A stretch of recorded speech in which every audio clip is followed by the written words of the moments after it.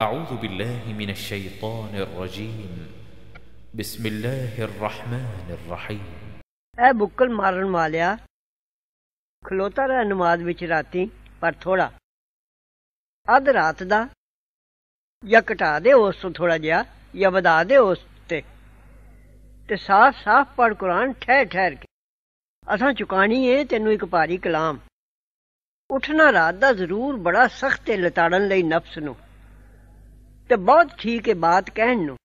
ਤੈਨੂੰ ਦਿਨ ਵਿੱਚ ਜ਼ਰੂਰ ਪਾਉਣਾ ਪੈਂਦਾ ਹੈ ਬਹੁਤ। ਤੇ ਯਾਦ ਕਰ ਨਾਮ ਆਪਣੇ ਰੱਬ ਦਾ ਤੇ ਧੰਦੇ ਛੱਡ ਕੇ ਆ ਜਾ ਉਹਦੇ ਵੱਲ। ਸਭ ਨੂੰ ਦਿਲੋਂ ਲਾ ਕੇ।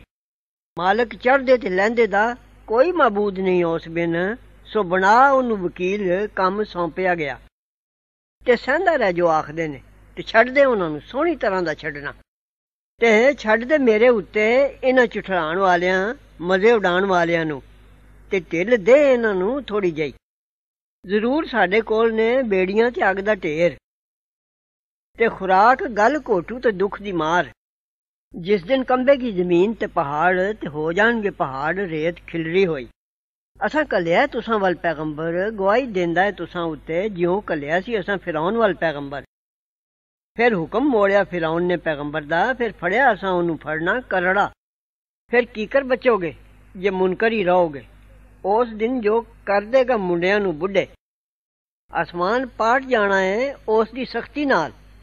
ਉਸ ਦਾ ਇਕਰਾਰ ਪੂਰਾ ਹੋਇਆ ਹੀ ਹੋਇਆ ਹੈ ਇਹ ਜ਼ਰੂਰ ਇੱਕ ਨਸੀਹਤ ਹੈ ਕਿ ਜਿਹੜਾ ਚਾਹੇ ਬਣਾ ਰੱਖੇ ਆਪਣੇ ਰੱਬ ਵੱਲ ਰਾਹ। ਤੇਰਾ ਰੱਬ ਜ਼ਰੂਰ ਜਾਣਦਾ ਭਈ ਤੂੰ ਖਲੋਤਾ ਰਹਿਣਾ ਹੈ ਨੇੜੇ ਨੇੜੇ ਦੋ ਤੀਜੇ ਹਿੱਸੇ ਰਾਤ ਦੇ। ਕਦੀ ਅੱਧੀ ਰਾਤ ਤੇ ਕਦੀ ਤੀਜਾ ਹਿੱਸਾ ਰਾਤ ਦਾ। ਤੇ ਕਿਤਨੇ ਲੋਕ ਤੇਰੇ ਨਾਲ ਦੇ ਵਿੱਚੋਂ ਵੀ ਤੇ ਅੱਲਾ ਅੰਦਾਜ਼ਾ ਕਰ ਜਾਣਦਾ ਹੈ ਰਾਤ ਤੇ ਦਿਨ ਦਾ।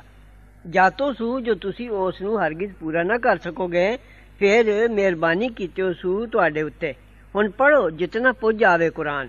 ਜਾਤੋ ਸੂ ਜੋ ਹੋਣਗੇ, ਤੁਸਾਂ ਵਿੱਚੋਂ ਕਈ ਬਿਮਾਰ ਤੇ ਹੋਰ ਕਈ ਜਾਂਦੇ ਨੇ, ਪਰਦੇਸ ਢੂੰਡਦੇ ਨੇ ਫਜ਼ਲ ਅੱਲਾ ਦਾ ਤੇ ਹੋਰ ਕਈ ਲੜਦੇ ਨੇ ਅੱਲਾ ਦੇ ਰਾਹ ਵਿੱਚ।